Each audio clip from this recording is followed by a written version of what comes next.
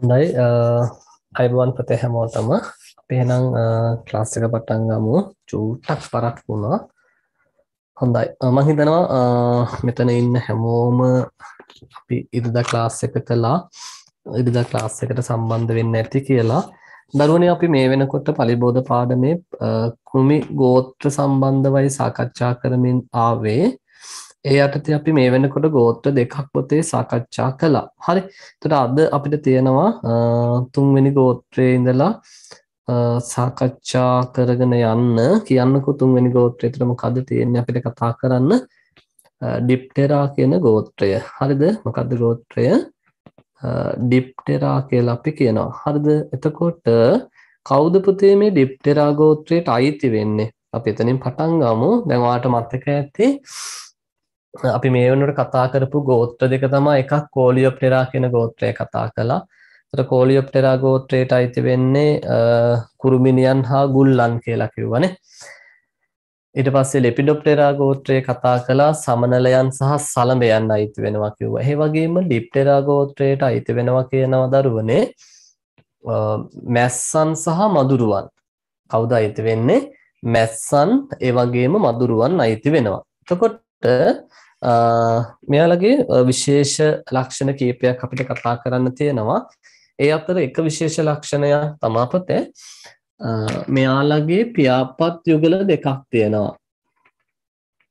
හරි පියාපත් යුගල කීයක් තියෙනවද? පියාපත් යුගල දෙකක් තියෙනවා.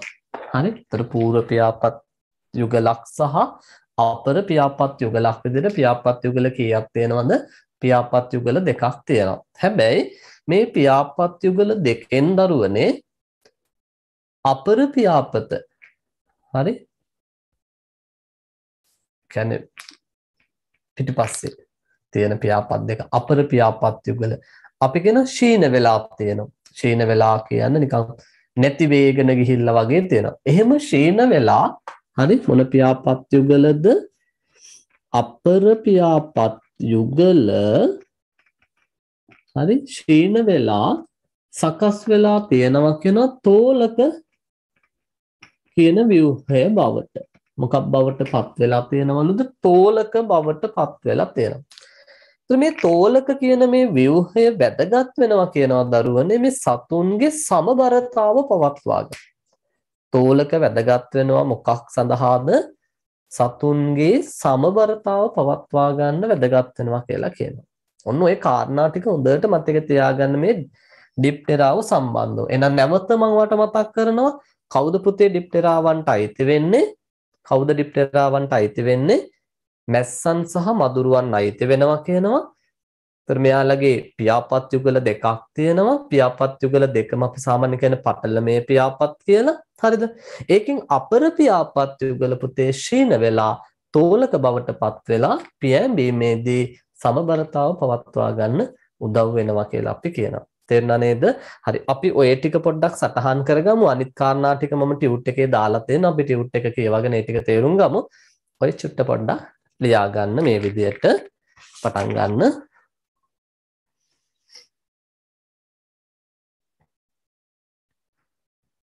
right මැස්සන් ලියන්න මැස්සන් සහ මදුරුවන් අයත් වේ මැස්සන් සහ මදුරුවන් අයත් වේ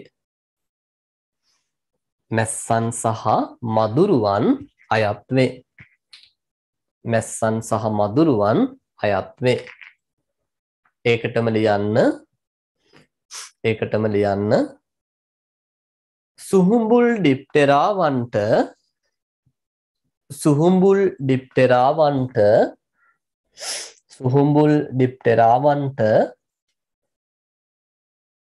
පටලමය පියාපත් යුගල දෙකක් ඇත. පටලමය පියාපත් යුගල දෙකක් ඇත. පටලමය පියාපත් යුගල දෙකක් ඇත. පටලමය පියාපත් යුගල දෙකක් ඇත. ඒකටම ලියන්න අපර පියාපත් යුගලය ශීන වේ අපර පියාපත් යුගලය ශීන වේ අපර පියාපත් යුගලය ශීන වේ අපර පියාපත් යුගලය ෂෙන වේ සමබරතාව රැකීම සඳහා සමබරතාව රැකීම සඳහා සමබරතාව රැකීම සඳහා සමබරතාව රැකීම සඳහා තෝලක හයිලයිට් කරගන්න දරුවනේ. තෝලක තෝලක හයිලයිට් කරගන්න තෝලක. යුගලක් බවට විකරණය වී ඇත. තෝලක යුගලක් බවට විකරණය වී ඇත. තෝලක යුගලක් බවට විකරණය වී ඇත.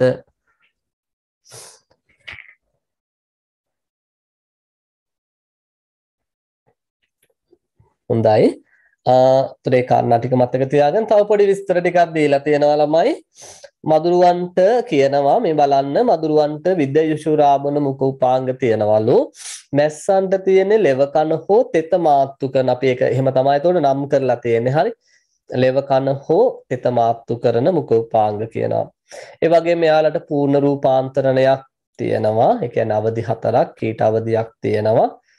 කීටයන් පාද නොමැති අතර නලියන චලන දක්වයි කීටයන්ට කකුල් නැහැ නලියන චලන තියෙනවා කියලා කියනවා පිලා අවස්ථාව කෝෂයක් තුල හෝ නිදහස්ව ගත කරනවා කියලා අපි කියනවා. ඒ ඔය කාරණා ටිකත් දල වශයෙන් මතක තියාගන්න. ඊළඟ පුතේ ඩිප්ටෙරා ගෝත්‍රයට අයත් පලිබෝධ ගත්තාම ගොයම් ගොක් මැස්සා අයිති වෙනවා. අතන මේ ගොයම් ගොක් මැස්සගේ හානිය මෙතන පොඩ්ඩක් පැහැදිලි කරලා තියෙනවා. ඒක චුට්ටක් ඔයාලා කියව ගන්න. පොඩ්ඩක් හයිලයිට් කරලා තියාගන්න. රිදී ගොබේ කියලා වචනයක් තියෙනවා නේද උතන සිල්වර් ලීෆ් කියලා. ඒක පොඩ්ඩක් හයිලයිට් කරලා තියාගන්න. එතකොට මෙතනදී වෙන්නේ අපි කියනා පොතේ මේ ගොයම් ගොක් පැස්සගේ කීටයාගේ හානිය නිසා ගොයම් ගහේ වර්ධක අග්‍රයට හානි වෙනවා. වර්ධක අග්‍රයට හානි වෙලා එතනින් එන ඒ ගොයන් කොළය පත්‍රය ඒක ලූණු කොළයක් බවට පත් ලූණු කොළයක් වගේ බවට පත් වෙන ලූණු කොළයක් නෙමෙයි ලූණු කොළයක් වගේ බවට පත් වෙනවා හරි මේක සුදු පැහැයක් වගේ ගන්නවා. ඒක නිසා මේකට අපි නමක් දෙනවා සිල්වර් ෂූට් නැත්තම් සිල්වර් ලීෆ් කියලා කියනවා. ඔච්චර ගොඩාක් මේ තොරතුරු අවශ්‍ය නැහැ. පොඩ්ඩක් ඔය සිල්වලීෆ් කියන නැත්තම් රිදී ගොබය කියන වචනය මතක තියාගන්න මේ ගොයම් ගොක් මැස්සගේ හානිය කොයි වගේද කියන එක අපෙන් ඇහුවොත් අපිට එක මතක තියෙන්න ඕන. ඊට අමතරව පළතුරු මැස්සා ඔයාලා දන්නවා පළතුරු භෝගවලට මෙයාලා හානි කරනවා පොතේ. ඊට පස්සේ ඉල් මැස්සා කුකබිටේසියේ කුලේ භෝගවලට විශේෂයෙන් පතෝල පතෝල කරවිල තව මොනවද වැටකොළු මෙන්න මේ වගේ දේවල් වලට හානි කරනවා. ඊළඟට බෝංචි මැස්සා ගත්තාම ගොඩක් දුරට රනිල්ල ශාකවලට විශේෂයෙන් බෝංචි මෑ මේ වගේ ශාකවලට හානි කිරීම සිද්ධ කරනවා. ඉතින් මම ගොඩාක් විස්තර කරන්න යන්නේ ඔයාලට පුළුවන් මම නෝට් එක දාලා තියෙන පොතේ චුට්ටක් ඕවා කියවලා තියාගන්න දල වශයෙන්. හරි. ඊළඟට අපි එමු ඊළඟ ගෝත්‍රයට. මොකද ඊළඟ ගෝත්‍රය හයිමෙනොප්ටෙරා කියන ගෝත්‍රය. හයිමෙනොප්ටෙරා නේද තියෙන්නේ? ඔව්. එතකොට කවුද පුතේ මේ හයිමෙනොප්ටෙරා ගෝත්‍රයට අයිති වෙන්නේ? ඔන්න මම පොඩි වෙනසකටත් එක්ක ස්ක්‍රීන් එක ෂෙයා කරන්න.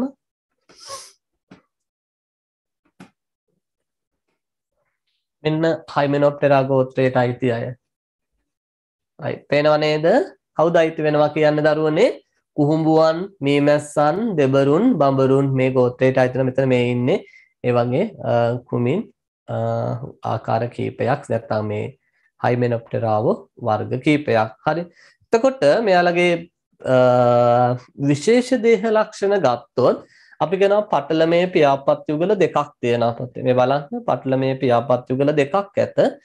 පසු පියාපත් යුගල ඉදිරි පියාපත් යුගල සමග කොකු පේලියක් මගින් එකිනෙක සම්බන්ධ වී පියෑඹීමේදී තනි ව්‍යුහයක් ලෙස ක්‍රියා කරයි. පාට පේනවා ඇති. මෙන්න මෙතන තියෙනවා මේ කොකු පේලියක් වගේ හොඳට බැලුවොත් පේනවා.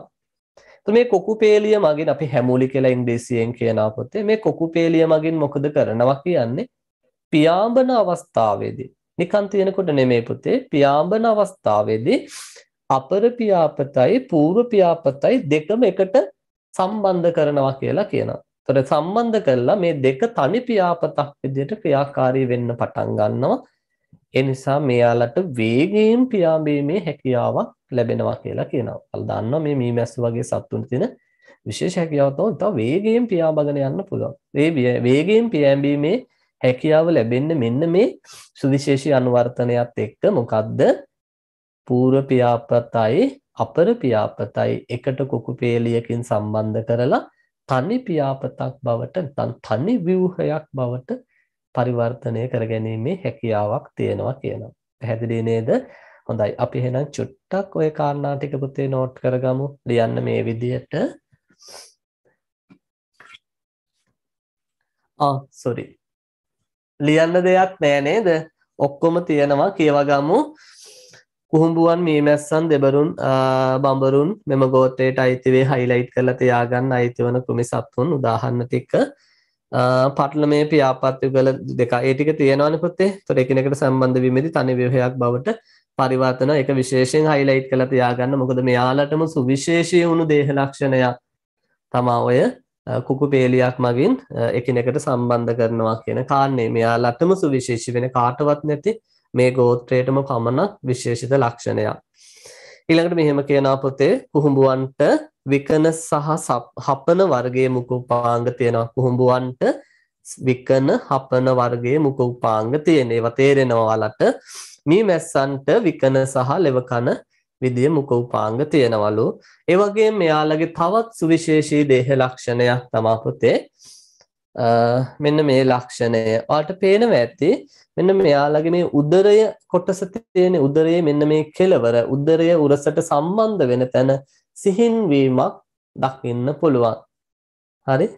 කොයි වගේද තියෙන්නේ? උදරය උරසට සම්බන්ධ වෙන කොටස සිහින් වෙලා තියෙනවා කියලා අපි කියනවා. හරි. මෙන්න මේකට අපි කියනවා පුතේ ප්‍රොපෝඩියම කියලා නැත්නම් ප්‍රොපෝඩියම කියලා කියනවා. එහෙම නැත්නම් වෘන්තය කියලා කියනවා. හරි? අර හැම් දැන් නම් එහෙම අය හොයන්න නෑ. ඉස්සර ඔය කාන්තාවන්ගේ එහෙම අපි කියනවනේ ඉනහීලී කියලානේ. අර ඉංගසුංග නේ ගත හැක එක මිටිට මොකක් කරම කතාවක් වෙනවනේ සින්දුවක්ද මොකක්ද කවියක්ද මොකක්ද එකක් වෙන මට මතක නෑ ඕවා දැන් හරිද? අන්න ඒ වගේ. හරි ඉන හීනි වෙලානේ තියෙන්නේ නේද? දැන් එහෙම නෑ දැන් ඉන්න ඔක්කොම පිට්ටු බම්බු වගේ අයනේ. ඉස්සර එහෙම ඉඳලා ඉන්න අය මේ සීගිරි චිත්‍ර එහෙම දැකලා තියෙන අඩුම තරමේ නිකන් පින්තූර වලින් හරි දැකලා තියෙන සීගිරිය බලන්න ගියේ නැතත් ඔය වෙන වෙන තැන් වල සීගිරි චිත්‍ර අඳිනවනේ බලන්නකේ සීගිරි චිත්‍ර වලින් සීගිරි ලලනාව ගත්තාම එයාලා නේද ගොඩාක් ඉන්න සිහින් වෙන විදිහට තමයි අඳලා තියෙන්නේ. හරි. ඒක නිසා තමයි කාන්තාව වර්ණනා කරලා අර කියන්නේ නේ ඉංගසින් ඉංගසුංග ගත හැක එක මිටි මිටින හරි මොකක් හරි ඔහොම එකක් තියෙනවානේ මට ඒ වචනේ මතක නැහැ මිටින වගේ වෙනද ඒ කියන්නේ එක මිටට එහෙම අල්ල ගන්න පුළුවන්ගේ අදහසක් නේ තියෙන්නේ නේ. ඒ වගේ මේ මේ හයිමෙනොප්ටෙරාවන්ගේ පුතේ සුවිශේෂී ලක්ෂණයක් තව තියෙනවා. උදරය මොකද වෙලා තියෙනවා කියන්නේ සිහින් වෙලා තියෙනවා. ඒතකොට ඒක මේකේ දීලා තිනවා හයිලයිට් කරලා තියාගන්න ඕනේ. ඒක යාටම විශේෂිත වුණ අනුවර්තනයක් නිසා හයිලයිට් කරලා තියාගන්න. ඒ වගේම මෙයාලත් පොතේ සම්පූර්ණ රූපාන්තරණයක් පෙන්නනවා. කීටයන්ට මෙයාලගේ පාද නෑ කියනවා. හිස පැහැදිලිව තියනවලු. බොහෝ කෘමීන් වල දන්නවා මීමැස්සු මේ සත්තු පුතේ ගොඩාක් අපිට හිතකර සතුන්. ඒ කියන්නේ මේ හයිමෙනොප්ටෙරාවෝ බොහෝමයා අපිට හිතකරයි තා කලාතුරකින් ඔය කුහුඹුව වගේ සතුන් යම් ආකාරයකට හානිදායක වෙන්න පුළුවන්. ඉතින් ওই කාරණා ටික මතක තියාගන්න. හරි. එතකොට අපි ඔන්න ගෝත්‍ර හතරක් කතා කළා. එතකොට මේ කතා කරපු ගෝත්‍ර හතරම පුතේ මේ කතා කරපු ගෝත්‍ර හතරම හොඳට මතක් කරලා බැලුවොත් මේ හතර ගොල්ලටම තියෙන පුතේ පූර්ණ රූපාන්තරණයක්. ඒ නිසා වාට පුළුවන් දැන් අපි මුලින්ම මේ ගෝත්‍රවල ලයිස්තුවක් ලියලා තියෙනවනේ ටියුට් එකේ බලන්න. මෙන්න මේ වගේ ලයිස්තුවක් ඇති ටියුට් එකේ. අන්නේ ලයිස්තුවේ දැන් වාට පුළුවන් පොඩි වැඩක් කරගන්න. මෙන්න මේ පළවෙනි හතර අයිති වෙන විදිහට සංගල වරහනක් දාන්න. මේ පළවෙනි හතර අයිති වෙන විදිහට මෙම සංගල වරහනක් දාන්න. ඔන්න ඔහොම සංගල වරහනක් දාන්න. පළවෙනි හතර අයිති වෙන විදිහට ලියන්න පූර්ණ රූපාන්තරණය කියලා. හරි පූර්ණ රූපාන්තරණය කියලා ලියන්න මට ලියන්න බෑ මේකේ හරි. පූර්ණ රූපාන්තරණය. ඒ වගේම අවසානයේ තව පහක් තියෙනවනේ. එහෙනම් ඒ පහ මොනව වෙන්න ඕනද? අර්ධ රූපාන්තරණයක් වෙන්න ඕන. එහෙනම් මෙතන නම් කරන්න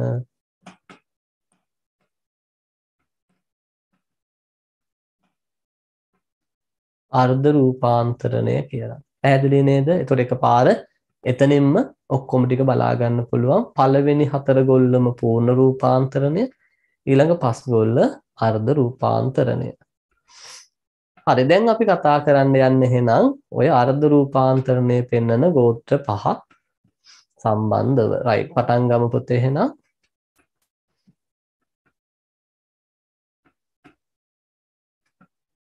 රයිට්. ඊළඟට තියෙනවා ඕතොප්ටෙරා කියන ගෝත්‍රය. හරි. නෝට් එක දීලා තියෙන්නේ. වැඩේ ලේසි. කියවගෙන යමු. තේරුම් ගමු. කවුද අයිති වෙන්නේ පුතේ? හයිලයිට් කරගන්න බින් ඌරන්. එතන කමාවක් එන්න ඕන. බින් ඌරන් පතංගයන්. එතන මේ ඉන්නේ බින් ඌරා. මම ඔයාලගේ ටියුට් එකේ දාලා තියෙනවා. ඔයාලා දැක්කලා ඇති මෙයාව.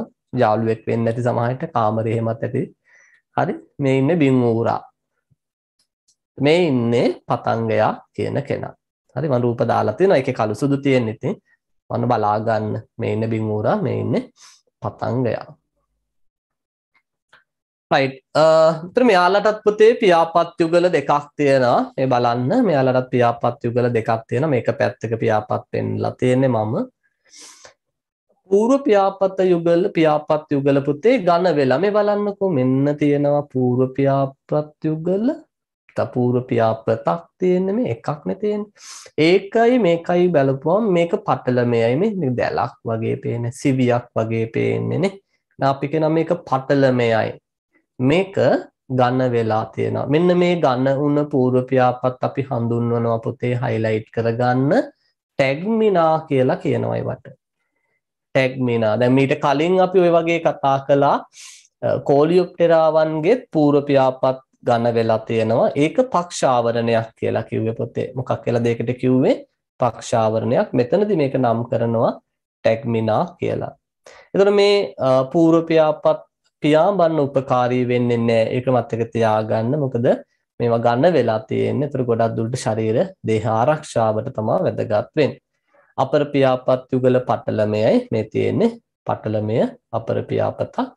පියෑඹීමට උපකාරී වෙනවා. ඒ වගේම මතක තියාගන්න සමහර අයට පියාපත් නෑ කියන කාරණේ. පියාපත් නැති අය ඉන්න පුළුවන්.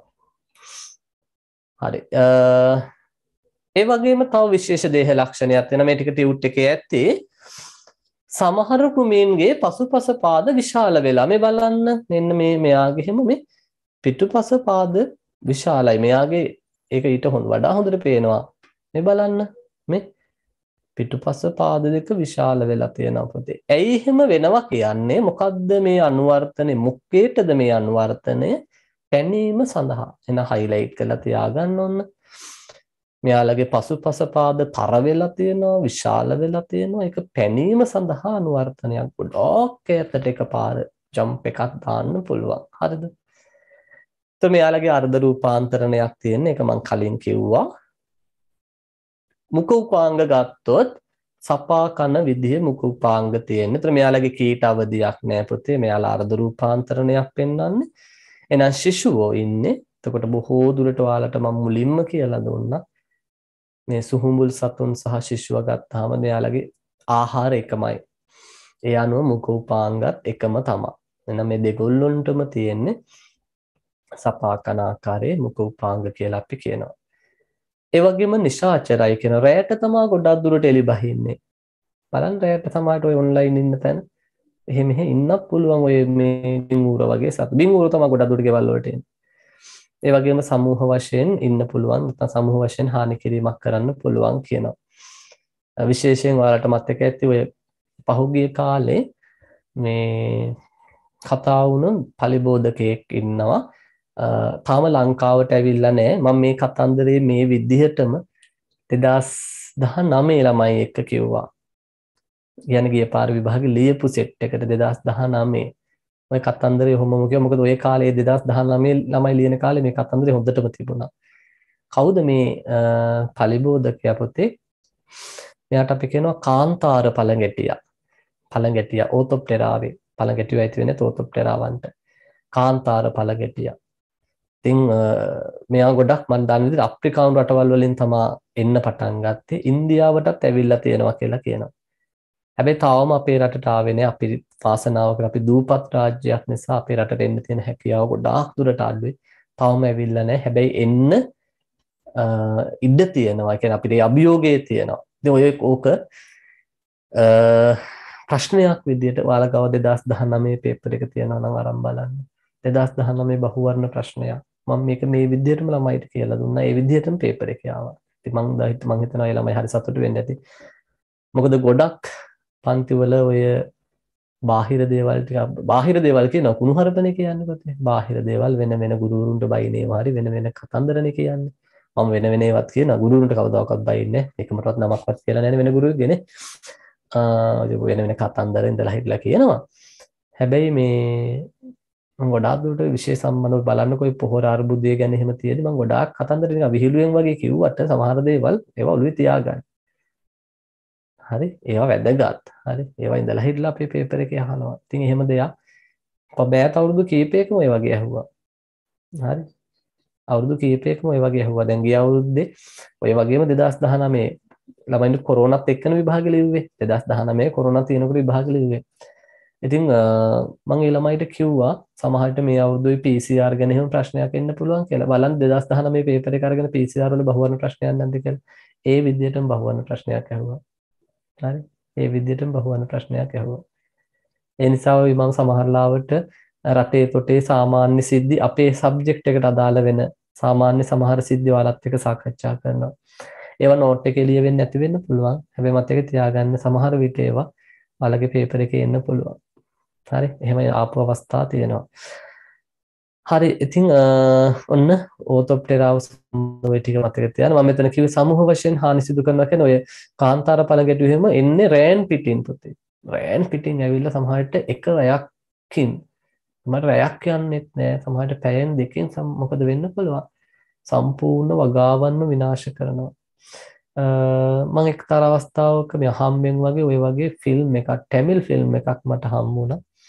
ඒත් පළඟැටියෙක්ම තමා. මට ඒ පළඟැටියගේ නම මතක නෑ. යාලා ඒක නමකුත් දාලා තිබුණා. ඒවනම් සමහර මේ සමාගම් විසින් මේ හදලා ඒ සත්තු බඩගින්න තියලා විශාල වශයෙන් මේ වගා ශේෂ්ඨුවට මුදා හැරීම කරනවා වගා විනාශ කිරීමේ අරමුණින්. ඒ වගේ මේ දේවලුත් මේ ලෝකේ නැතුවම නෙමෙයි. එහෙමවත් තියෙනවා. හරි. ගොඩක් දුරට ඔය පලිබෝධනාශක අලෙවි කරන සමාගම් ඒවා නිෂ්පාදනය කරන සමාගම් මේ වගේ කඩාකප්පල්කාරී කූට වැඩ කරනවා අපතේ. ඉතින් ඒ ෆිල්ම් එකේ තියෙන ඒ වගේ දෙයක්.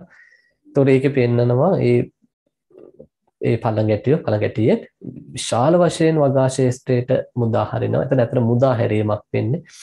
ඉතින් මෙයාලා මේ තමාට මිනිත්තු ගාණක් යනකොට සම්පූර්ණයෙන් අර වගාවල් එක පාර විනාශ කරලා දාලා හිතා ගන්න බැරි වේගේ පාලනය කරගන්න බැයි මට්ටේ මට්ටමට ඒ කියන්නේ ඉතා විශාල දහස් ගණන් දහස් ගණන් නෙවෙයි ලක්ෂ ගණන් වලින් වගේ පළඟැටියෝ වගාවට එනවා. ඒ මේ මෙයාලා ඒ වගේ ස්වරූපයක් තියෙන්නේ සමූහ වශයෙන් තමයි හානි කිරීම කරන්න ඕන මතක තියාගන්න.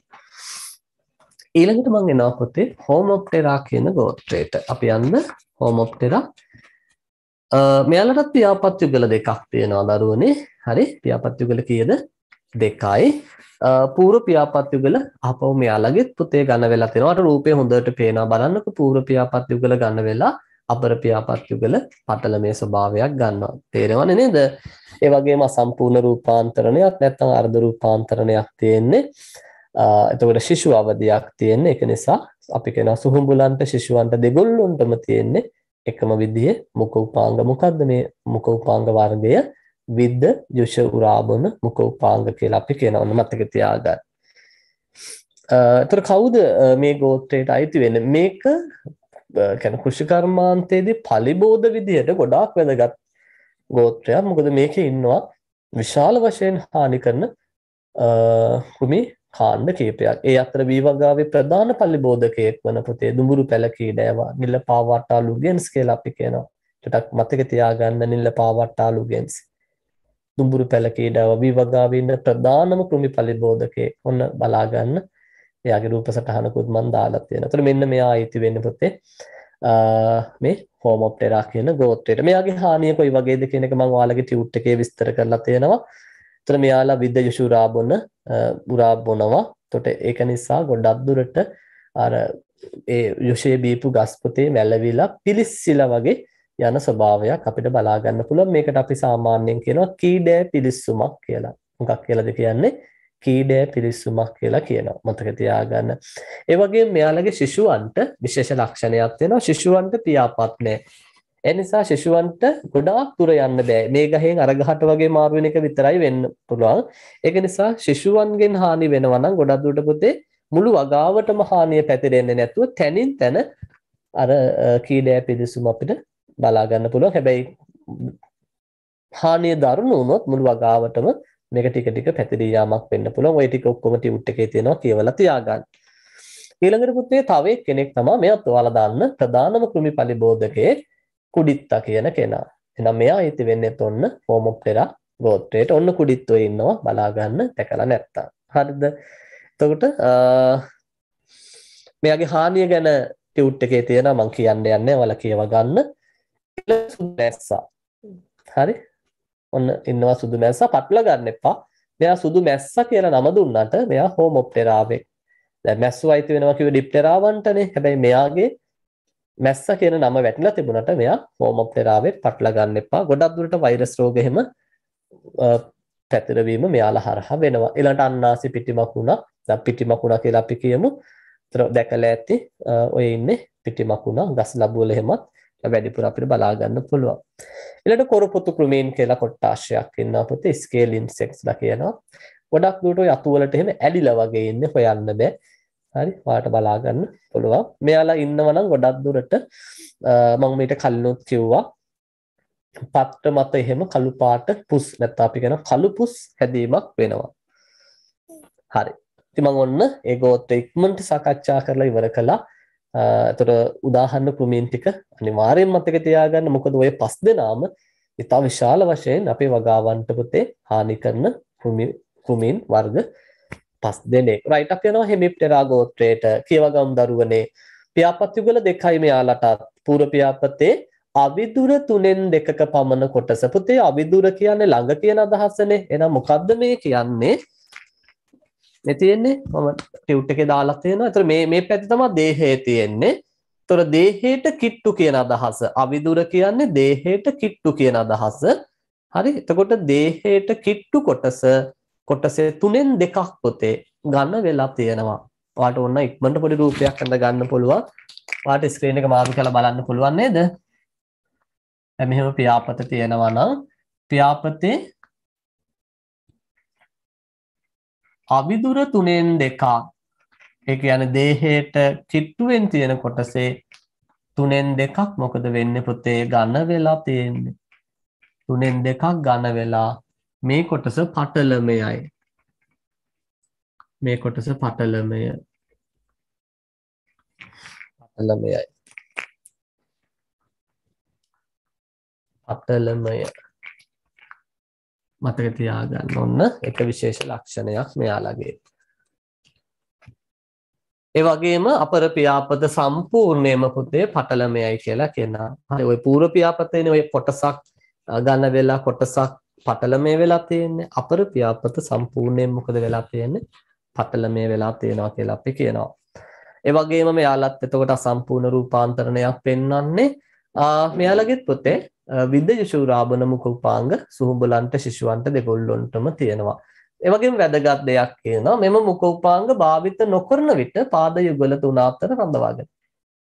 හරි ආහාරයට ආහාර නොගන්න වෙලාවට මේ මුඛ උපාංග කොහෙද තියෙනවා කියන්නේ කොහෙද කොහෙද හංගගෙන ඉන්නවා කියන්නේ පාද යුගල තුන ASCII ගහගෙන ඉන්නවා කියලා කියනවා. ඔන්න මතක තියාගන්න. අර බල්ලෝ නේද? නැට්ට ගහගන්නේ ඒ වගේ නේද? කකුල් දස්ත ගහගන්නේ බය වුණාම ඒ වගේ මෙයාලා ආහාර ගන්න නැති වෙලාවට එයාලගේ මුඛ කොටස් කොහෙද රඳව ගන්නවා කියන්නේ පාද අතර පාද යුගල අතර රඳව ගන්නවා. ඒ වගේම මේ කෘමීන් ඉන්නව නම් වගා ශේෂ්ත්‍රයක අපිට ආවේනික ගන්ධයක් හඳුනා ගන්න පුළුවන් කියනවා. මොකද හඳුනා ගන්න පුළුවන් කියන්නේ ආවේනික ගන්ධයක්. ඔන්න මතක තියාගන්න. කවුද මේ ගෝත්‍රයට අයිති වෙන්නේ? ගොයම් මකුණා. ඔන්න මතක තියාගන්න. ලෙප්ටොකොරයිසා ඇකියුටා කියලා කියන මෙයා ප්‍රධාන පලිබෝධකයෙක් වී වගාවේ ඉන්න ගොයම්මක් වුණා කිරි වදින කාලෙට ඒ කියන්නේ වී කරලට වී කරල් පිරෙන කාලය තමා මෙයාලගේ හානිය අවදිය වෙන්නේ. එතකොට අර කිරි වැදුණු වී කරලෙන් අපි කියනවා මෙයාලා ඒ යුෂය උරාබීමක් කරනවා පුතේ. ඒ නිසා වී කරල මොකද වෙන්නේ නැත්නම් වී ඇටේ බොල් වීමක් වෙන්න පුළුවන්. හැබැයි මෙයාලගේ හානිය වළකිනවා පුතේ වී ඇට වියලීමත් එක්ක. එතකොට හානි කරන්න බෑ. එතකොට විදින්න හැකියාවක් නැහැ කියලා අපි කියනවා. හොඳයි. ඒ අපි කතා කළේ පුතේ හෙමිප්ටෙරා කියන ගෝත්‍රය රයිට් ඊළඟට මං එනවා ටයිසනොප්ටෙරා කියන ගෝත්‍රය අවසාන ගෝත්‍රයට කලින් ගෝත්‍රය මේ වගේ නෝට් එක ඔක්කොම තියෙනවා නේද හරි කියන කියන යනවා නෝට් එක තියෙනවද දන්නේ නැහැ ඉතා කුඩා කෘමීන් වේ කියනවා මෘදු ශරීරය ඇත උදරය කෙලවර කේතුවක හැඩයක් ගන්නවා කියලා කියනවා මේ මේකේ තියෙන විස්තර සමහර විට ওই පිළිවෙලටම නොවෙන්නත් පුළුවන් හරි ඔවුනේ ඒ පිළිවෙලටම නෙමෙයි තියෙන්නේ. නමුත් මම මේ ස්ලයිඩ් එකේ තියෙන විදිහට කියන්න යන්නම් කමක් නැහැ. මේ ටිකම තමයි ටියුට් එකේ තියෙන්නේ.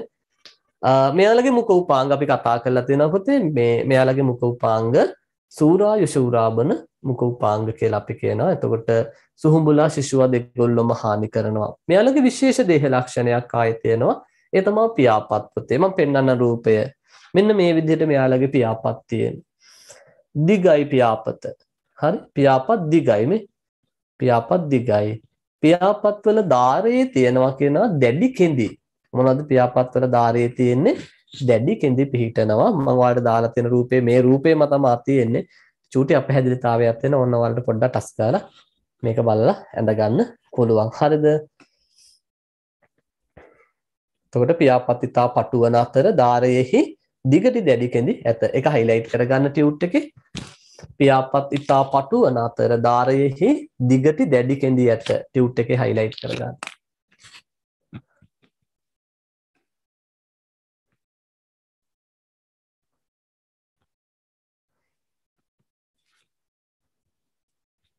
දැන් මෙච්චර මේ ලොකුවට තිබුණ මෙයා ගොඩක් කුඩයි. සමහරට ඇහැට පේන්නේ නැහැ. ඒ කියන්නේ නිකන් බැලු බැලමට පේන්නේ නැහැ.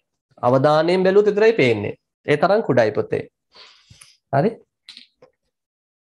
මේ පැළමැක්කා කියන එක ඒ තරම් කුඩායි.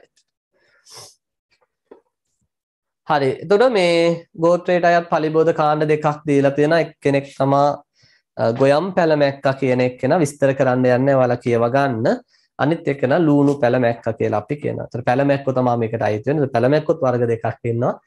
ගොයම් පැළමැක්කා සහ ලූණු පැළමැක්කා විදියට. රයිට්. එච්චරයි ඊළඟට එතර මේ ගොයම් පැළමැක්කාගේ හානිය මට පේනවා ඇති මේ අපි දන්න මෙයාලා හානි කරන්නේ කොහොමද සූරා යුෂ උරාබොන් එතකොට සෛල කොටස් සූරලා ඒකෙන් යුෂේ උරාබීම නිසා මේ තැන්වල මොකද වෙන්නේ මම කලින් කියලා තියෙනවා මේවා ගැන මොකද වෙන්නේ ඒ තැන් සුදු පාටට ලක් වෙනවා මෙතනත් ඔයාලට පේන ඇති මේ සෛල සූරලා යුෂේ උරාබීම නිසා සම්පූර්ණ පත්වයම දැන් ටික ටික මොකද වෙන්නේ සුදු පාට වේගෙන ගිහිල්ලා තියෙනවා හොඳයි ඊළඟට පුතේ අවසාන කෘමි ගෝත්‍රය අයිසොප්ටෙරා ගෝත්‍රය. ඉතින් කවුද මේකට අයිති වෙන්නේ? චුට්ටක් ඔකෙල යාගන්න මුලින්ම මට ඒක දාන්න අමතක වෙලා වේ යන්න අයත් ඒක දීලා නෑ නේද? වේ යන්න අයත් වේ. වේ යන්න අයත් වේ. හරි. එතකොට වේයෝ අපි දන්නවා මෙයාලගේ මෙයාලා සුවිශේෂී. කියන්නේ ඝනාවාස වේ ඝනාවාස කුඹසක් කියන්නේ වේ ඝනාවාසයක් නේ. ඒතර ඝනාවාසීව ජීවත් වන භූමි විශේෂයකි. වේ ඝනාවාසයක් තුල රූප සම්රූපාන මෙහෙමත් කියනවා ඝනාවාසයක් තුල වෙසෙන වේයන් ප්‍රමාණය 1000 සිට මිලියන ගණනක් වෙන්න පුළුවන් කියනවා. ඒ වගේම ඔවුන් රූපානුකූලව හා ක්‍රියාකාරීත්වයෙන් එකිනෙකට වෙනස් කියනවා උදාහරණ දීලා තියෙනවා මෙහෙකාර වේයෝ ඉන්නවා. එයාලා තමයි ගොඩක් දුර ඔය කුඹස බඳින්නේ එයාලගේ රාජ මාලිගාව හදන්නේ මැටි ගෙනල්ලා තියලා තියලා තියලා තියලා අර ලස්සනට හිතා ගන්න බෑනේ නේද? ලස්සනට කුඹසක් බඳිනවා. ඒ මෙහෙකාර වේයෝ ගොඩක් දුරට ඒක කරන්න. එතකොට පුතේ ඊට සොල්දාදු වේයෝ කියලා ඉන්නවා. එහෙම ඉන්නවා. හරිද? හදිසියේ ආක්‍රමණයක් ආවොත් එයාලා තමයි හරිද? ඒකට එරෙහිව ක්‍රියා කරන්නේ. ඊළඟ ප්‍රජනනය සඳහා වෙනම වේයෝ ඉන්නවා. අපි ප්‍රජනක වේයන් කියනවා. හරි එතකොට සමහර අය ඉන්නවා පියාපත් සහිත අය ප්‍රති සමහර අය ඉන්නවා පියාපත් රහිත අය. ඒතර ඔයාලගේ මම පල්හැ රූපේ දාලා තියෙනවා මේ වේගනා වාසයක් තුල ඉන්න ඒ විවිධ වේ වර්ග. ඒතර A කියන්නේ වේ රාචු, B වේ රැචින, C ද්විතීක වේ රැචින කියනවා. D තෘතීක වේ රැජින ඊට පස්සේ E සොල්දාදු වේයන් F කියන්නේ මෙහෙකාර වේයන් F කියන්නේ එතකොට මෙහෙකාර වේයන් ඒක දාලා නැහැනේ මෙහෙකාර වේයන් ඊට පස්සේ කියනවා පුතේ සම්පූර්ණ රූපාන්තරණයක් තිය. සෝරි අසම්පූර්ණ රූපාන්තරණයක් ඇත. සපනහා විකනාකාරයේ මුකුපාංග තියෙන මෙයාලට සූඹුලන් මෙන්ම ಶಿಶුවන්ද හානි කරන්න පුළුවන්. මොන වගේ දේවල් වලටද මෙයාලා ප්‍රධාන වශයෙන් හානි කරන්නේ? දැවුමේ නිවාසවලට හානි කරන්න පුළුවන්. ගෘහ භාණ්ඩවලට අත්දැකීමුත් ඇති. ගෙදර නොයෙකුත් දේවල් වලට මෙයාලා හානි කරලා තියෙනවා. ඊළඟ කෘෂිකාර්මික භෝග සඳහා හානි කරන්න පුළුවන් විශේෂ මුල් ආහාරයට ගැනීමක් වගේ වෙන්න පුළුවන්. ඒ වගේම වනාන්තර ආශ්‍රිත තියෙන මෘදු දැව ශාකවලට මෘදු දැව ශාකවලට පුතේ මෙයාලා හානි කරන්න පුළුවන් කියලා කියනවා. ඉතින් ඔන්න ඔය ටික තමයි කුමි ගෝත්‍ර සම්බන්ධව අපිට සාකච්ඡා කරන්න තියෙන. ඔන්න මම ගෝත්‍ර නමේම ඉක්මනට ඉක්මනට පැහැදිලි කරගෙන ආවා. හැබැයි ඉක්මනට පැහැදිලි කළා කියලා එකෙන් අදහස් කරන්නේ නෑ මං අත්‍යවශ්‍ය දේවල් නොකියුවා කියලා. අත්‍යවශ්‍ය දේවල් සියල්ල හයිලයිට් කරගන්න කියලා ඔයාලට පැහැදිලි කරගෙන ආවේ හොඳයි එතනින් දරුවනේ මේ කෘමීන් සම්බන්ධව අපිට කතා කරන්න තියෙන කාරණා ටික සියල්ලම අහවර වෙනවා Äh, අපි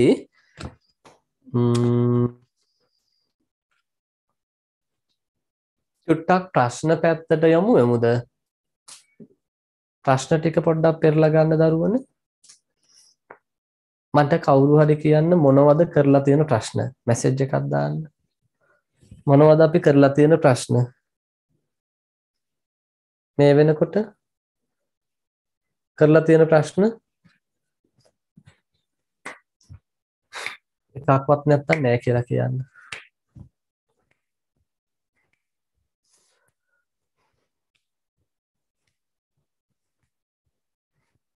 කවුරු හරි ඉක්මන් කරන්න. කාලේ ඔයාලගේ නාස්ති වෙන්නේ.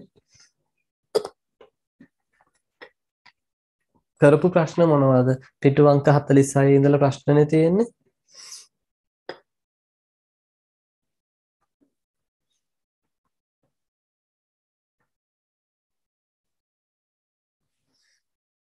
කවුරුත් නැහනේ නිදිද ඔක්කොම? නිදි නම් ඇහැරෙන්න ඉක්මනට මම මෙහෙ කියවන ඔයාලා නිදිද දන්නේ?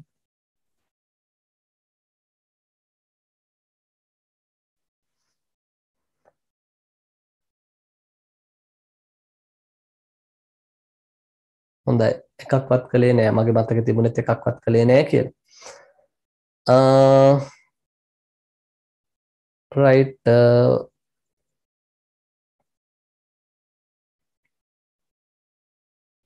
පළවෙනි ප්‍රශ්නේ දෙවෙනි ප්‍රශ්නේ තුන්වෙනි ප්‍රශ්නේ ගෙදරින් කරන්න.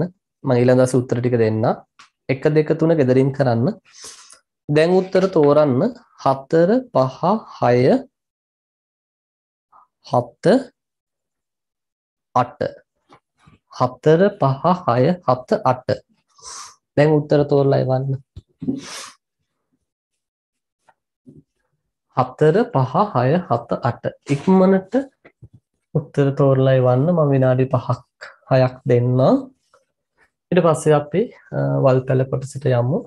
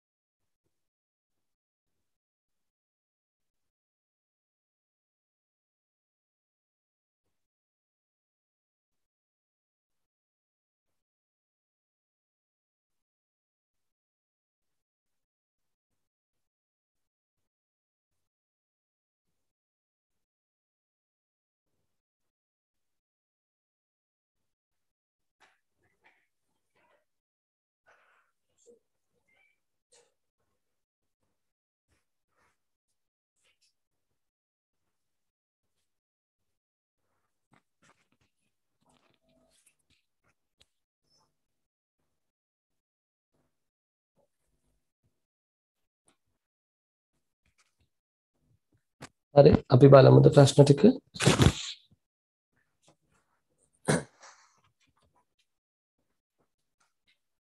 රයිට් එතකොට හතරවෙනි ප්‍රශ්නය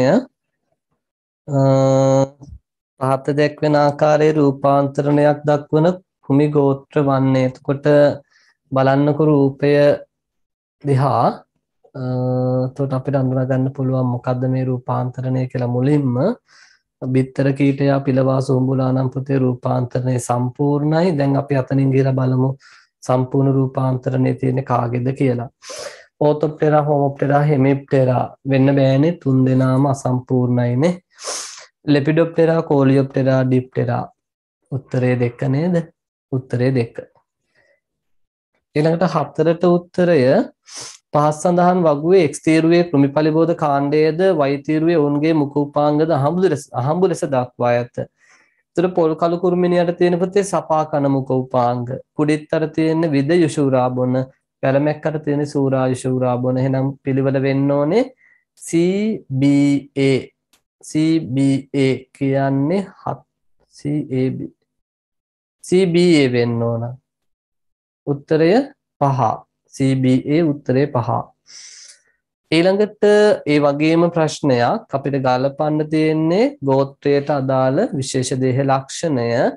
පුතේ ලෙපිඩොප්ටෙරා විශාල ශල්කමේ පියාපත් යුගලා යුගලක් කියනට වඩා හොඳ ඇත්තම යුගල දෙකක් වෙන්න ඕන. පොලියොප්ටෙරා ඉදිරි පියාපත් යුගල ගණවි පක්ෂාවරණයක් කියන එක ඩිප්ටෙරා දෙවන පියාපත් වෙන්න ඕන දෙවන පියාපත් යුගලයේ ශීන වී සමබරතාව රැකීම සඳහා තෝලක යුගලක් කියන එක. හයිමොනොප්ටෙරා ප්‍රෝපෝඩියම ඕතොප්ටෙරා පිටුපස පාද තර වී ඇත. එතර මොකක්ද දරුවනේ උත්තරේ වෙන්න ඕනේ? E A e,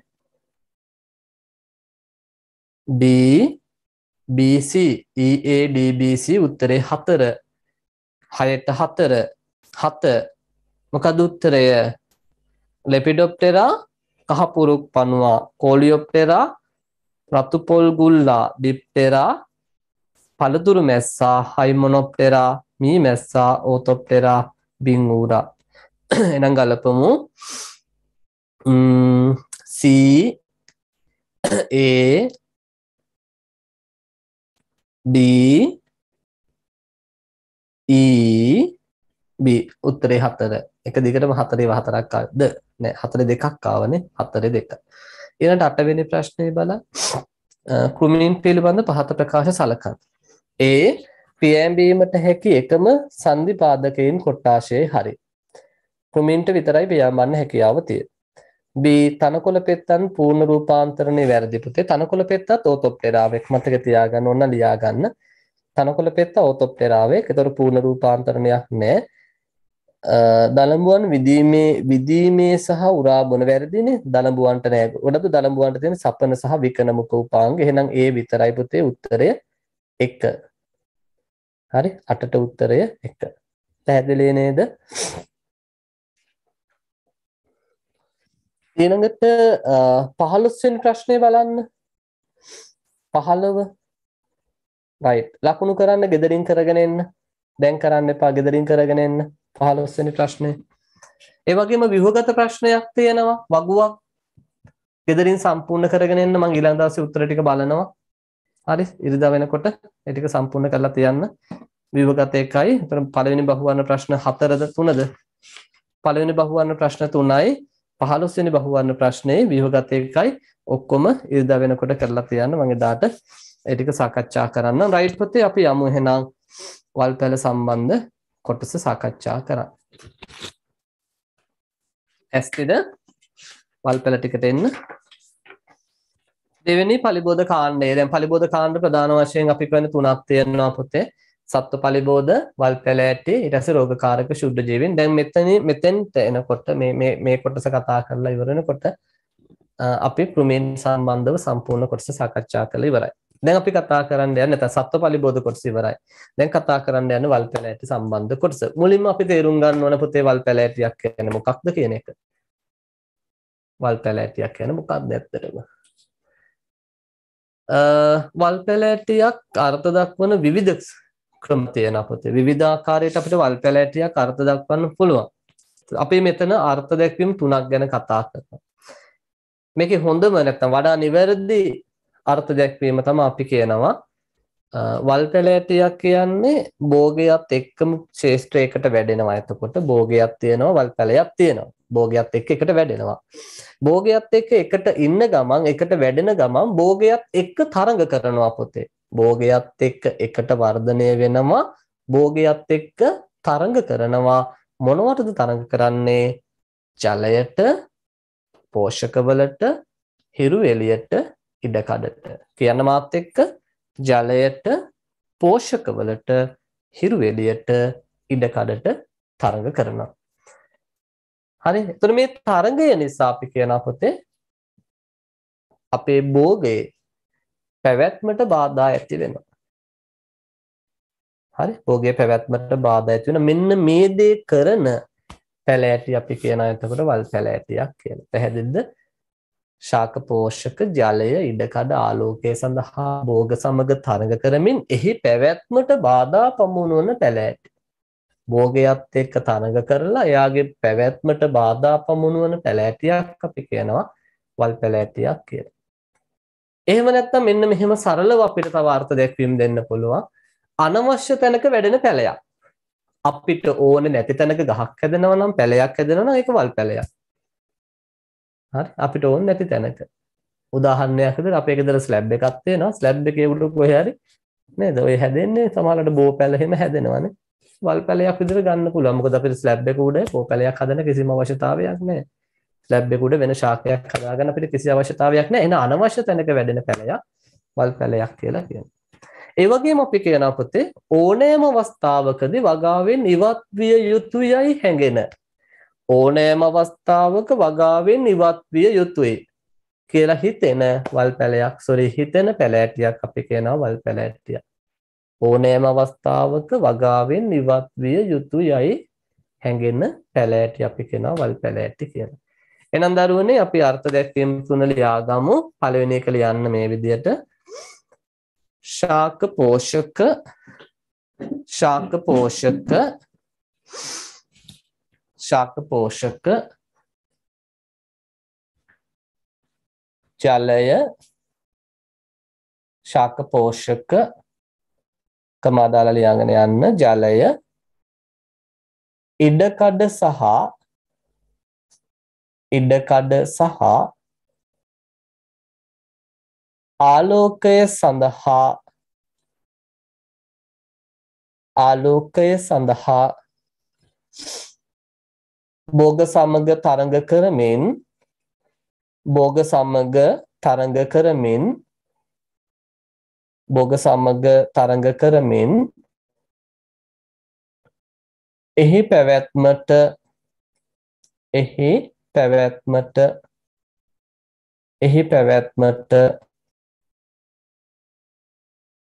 බාධා පමුණුවන වල් පැලෑටි බාධා පමුණුවන වල් පැලෑටි සොරි බාධා පමුණුවන පැලෑටි වල් පැලෑටි ලෙස හැඳින්වේ.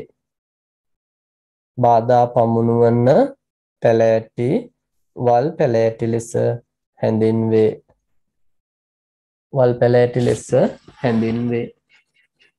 රයිට් දරුවනේ දෙවෙනි අර්ථ දැක්වීමට එමු අපි. අනවශ්‍ය ස්ථානයක වැඩෙන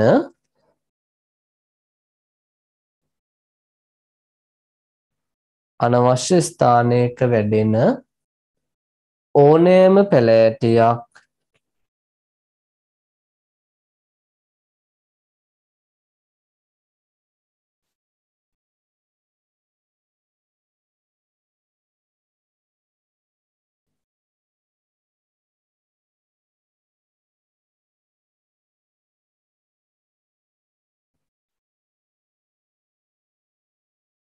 අනවශ්‍ය ස්ථානයක වැඩෙන ඕනෑම පැලෑටියක් වල් පැලෑටියක් ලෙස හැඳින්වේ. වල් පැලෑටියක් ලෙස හැඳින්වේ.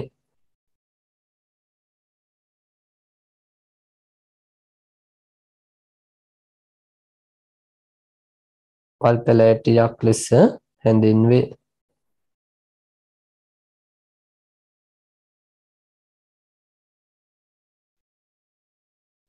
Right. පුතේ තුන්වෙනි අර්ථ දැක්වීම ඕනෑම අවස්ථාවකදී ඕනෑම අවස්ථාවකදී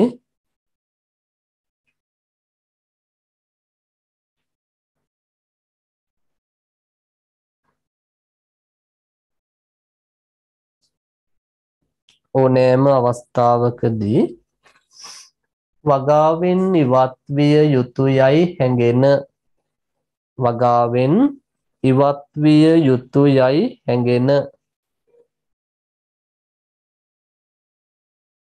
වගාවෙන් ඉවත් විය යුතුයයි හැඟෙන.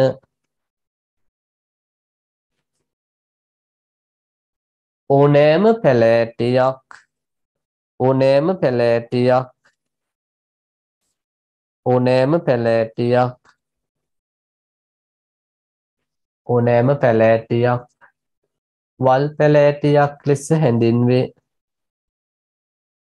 වල් පැලෑටියක් ලෙස හැඳින්වේ. වල් පැලෑටියක් ලෙස හැඳින්වේ.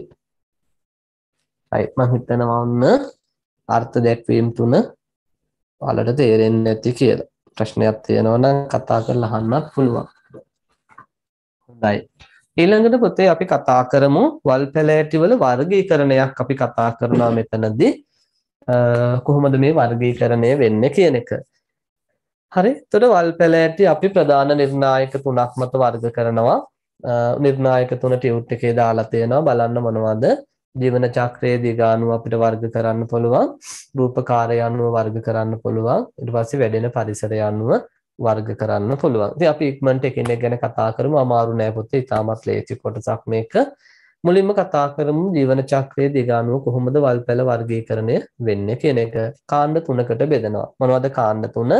වාර්ෂික වල්පැල ඇටි, ද්විවාර්ෂික වල්පැල ඇටි සහ බහුවාර්ෂික වල්පැල ඇටි විදියට. පැහැදිලිද? මොනවද පුතේ කාණ්ඩ තුන?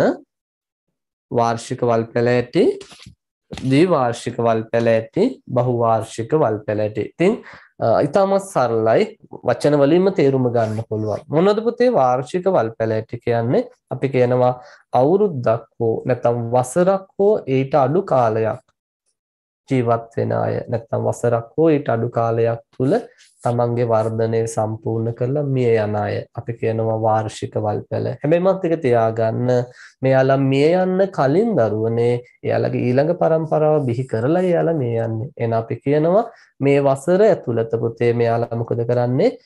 පුෂ්පීකරණය කරලා බීජ හදලා තමා මිය යාම සිද්ධ වෙනවා කියලා කියන්නේ. ඉතින් මෙන්න මේ වල්පැල තමයි අපි වාර්ෂික වල්පැල්ල කියන්නේ. ඒතර වාර්ෂික වල්පැල්ල ඉතා පහසුවෙන් අපිට පාලනය කරගන්න පුළුවන්. හැබැයි මල් පිපෙන්න කලින් මේ වැඩේ කරගන්න ඕන. මල් පිපුණට පස්සේ පොතේ අය අමුතුවෙන් අපි පාලනය කිරීමක් කරන්න යන්න ඕනේ. කොහොමත් ඒ ශාක ඊළඟට මොකද වෙන්නේ? මැරිලා යනවා. අමුතුවෙන් අපි මරන්න දෙයක් නෑ. ඒක හරියට මිනි මරනවා වගේ වැඩක්. ඉතින් අමුතුවෙන් මරන්න මිනි මරන්න දෙයක් නෑනේ. මැරිලානේ ඉන්නේ. ඒ වගේ හරියද?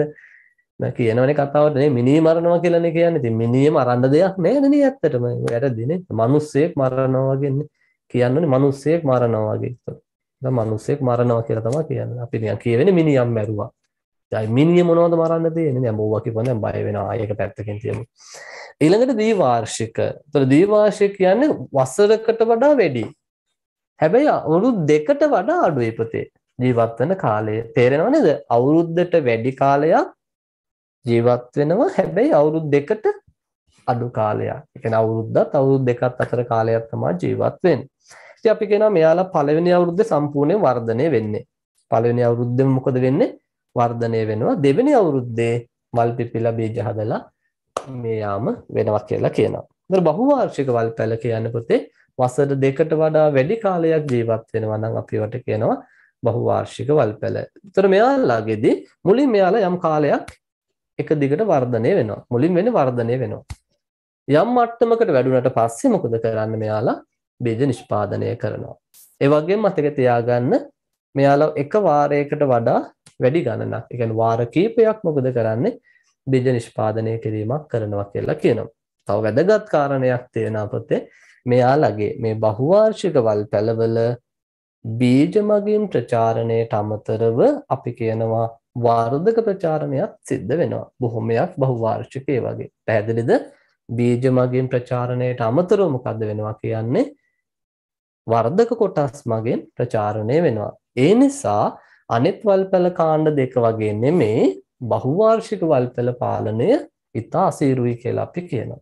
හරි? බහුවාර්ෂික වල්පැල පාලනය ඉතා අසීරුයි හේතුව පුතේ මුම් බීජ මගිනුත් ප්‍රචාරණය වෙනවා. ඒ වගේම වර්ධක කොටස් මගිනුත් මොකද වෙන්නේ? ප්‍රචාරණය වීම වෙනවා. ඉතින් මම ඔය එකකටවත් උදාහරණ කිව්වේ නෑ. උදාහරණ ටික ටියුට් එකේ තියෙනවා. අපි කතා ලියන ගමන් උදාහරණ ටික බලාගෙන යමු. රයිට්. පටන් ගමු පොතේ වාර්ෂික වල්පැල වලින්. ලියන්න මේ විදිහට. එක් වර්ෂයක් තුල හෝ එක් වර්ෂයක් තුල හෝ එයට අඩු කාලයක් තුල එයට අඩු කාලයක් තුල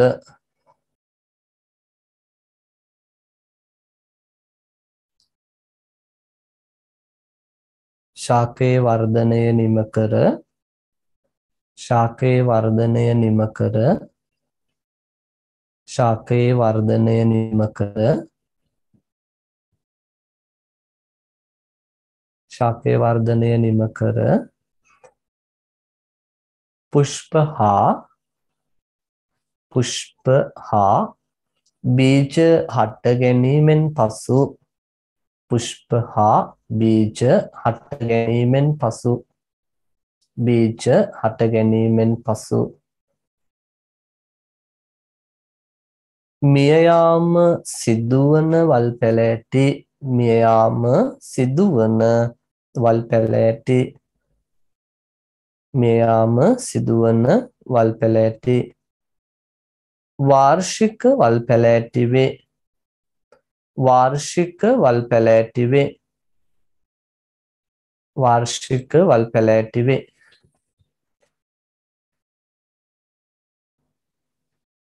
එකටම ලියන්න පුෂ්ප පිපීමට පෙර පුෂ්ප පිපීමට පෙර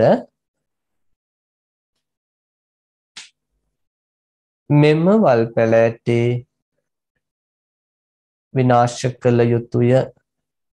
පුෂ්ප පිපීමට පෙර මෙම වල් පැලෑටි විනාශ කළ යුතුය.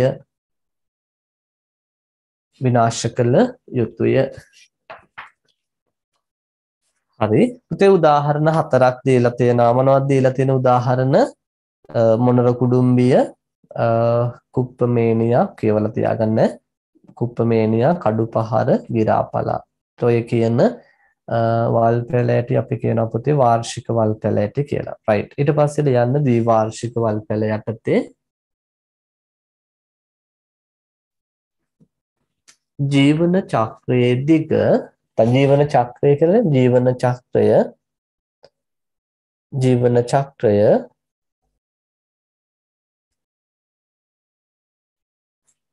එක් වර්ෂයකට වඩා වැඩි නමුත් එක් වර්ෂයකට වඩා වැඩි නමුත් එක් වර්ෂයකට වඩා වැඩි නමුත්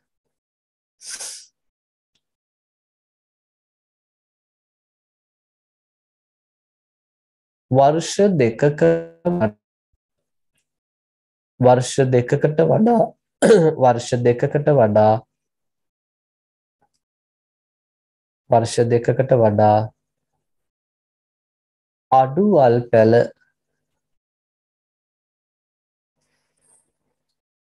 වර්ෂ දෙකකට වඩා අඩු වල් පැල ද්විවාර්ෂික වල් පැල ඇති වේ ද්විවාර්ෂික වල් පැල ඇති වේ ද්විවාර්ෂික වල් පැල ඇති වේ හරි. එතකොට අනිත් ටික දීලා තියෙන්නේ. කියවා ගමු අපි. බලන්න පොතේ මොකද කියන්නේ එතන. පළමු වර්ෂය තුල වර්ධක වර්ධනය සිදුවන අතර දෙවන වර්ෂයේදී මම කිව්වා මේක ඔයාලට. පළවෙනි වර්ෂයේ සිද්ධ වෙන්නේ වර්ධක වර්ධනය. දෙවෙනි වර්ෂයේදී මොකද වෙන්නේ? පුෂ්ප හටගෙන බීජ නිපදවීමෙන් පස්සේ මොකද වෙන්නේ පුතේ මෙයාලා? මේ යාම වෙනවා. එතකොට මෙයාලගේ පුෂ්පීකරණය වෙන්නේ එකපාරක් මෙයාලගේ විතරක් නෙමේ. වාර්ෂික වල් පැලවලත් එකපාරයි බීජ නිෂ්පාදනය නැත්නම් මල් පිපීම සිද්ධ වෙන්නේ. ඒක මතක තියාගන්න. රයිට් උදාහරණ තුනක් වාට මම දාලා තියෙනවා පුතේ මොනවද? ඇත්තඩේ වල් හෙන්දිරික්කා කරල් හැබ කියන ඒවා. පැහැදිලිද? රයිට්. ඊළඟට අපි එනවා බහුවාර්ෂික ලියන්න මේ යට මේ විදිහට යටතේ. අවුරුදු දෙකකට වඩා අවුරුදු දෙකකට වඩා අවුරුදු දෙකකට වඩා වැඩි කාල සීමාවක් අවුරුදු දෙකකට වඩා වැඩි කාල සීමාවක් ජීවත්වන වල් පැලෑටේ ජීවත්වන වල් පැලෑටේ ජීවත්වන වල් පැලෑටේ බහුවාර්ෂික වල් පැලෑටි වේ බහුවාර්ෂික වල් පැලෑටි වේ. බහුවාර්ෂික වල් පැලෑටි වේ. හරි.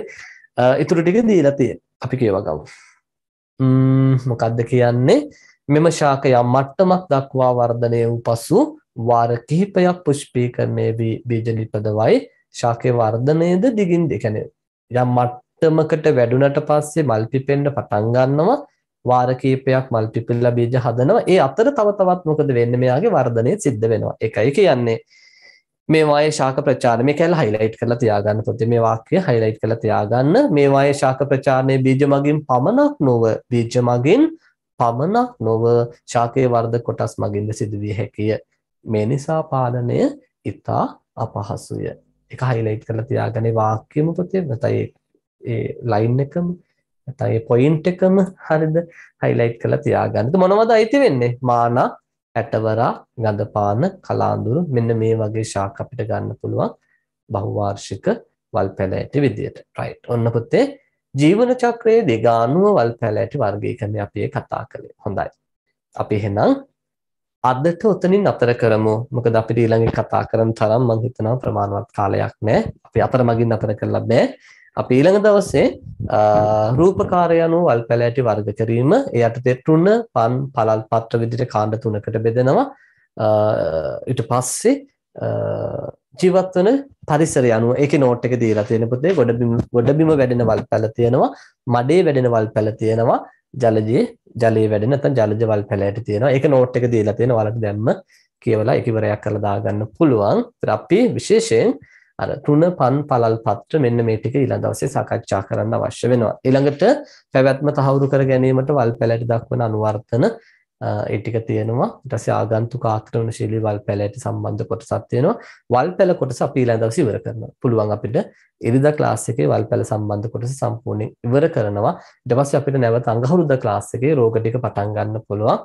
ඉරිදා ක්ලාස් එකේ රෝග ටික පටන් ගන්න පුළුවන් වුණොත් කොටසක් හරි අපිට අඟහරුද ක්ලාස් එකේ රෝග ටික ඉවර කරලා පළවෙනි ටියුට් එක ඉවර කරලා දාන්න පුළුවන්. හරි ඊට පස්සේ අපිට දෙවෙනි ටියුට් එක බලන්න හැකියාව තියෙනවා. හරිද? එහෙනම් පුතේ අදට අපි නතර කරමු. එහෙනම් අපි ලබන ඉරිදා අටහමාරනේ අටහමාරට නැවත පන්තියේ තියෙනවා. අපේ මේ මේ මේ ටික කාලේ මේ දවස් දෙකම එක දිගට පන්ති කරනවා. මොකද අපි අනිත් ළමයිගේ මට්ටමට ඉක්මනට එන්න ඕන. දැන් එයාලා දෙවෙනි ටියුට් එක පටන් අරගෙන කරගෙන යනවා. හරි? එතකොට අපි ඉක්මනට ඉක්මනට එතෙන්ට එන්න ඕන. ඒ සතියේ දවස් දෙක දෙක කරගෙන ගිහිල්ලා. හරිද? අපිට පුළුවන් ඉක්මනට අල්ලන්න පුළුවන්. මොකද එයාලට එක දවසයි කරන්නේ. අපි ඔයාලට දවස් දෙක පන්තිය කරනවා. හරි. එහෙනම් පුතේ අදට ඇති. අපි ඔතනින් නතර කරමු. එනවා හැමෝටම ආයිබෝවන්.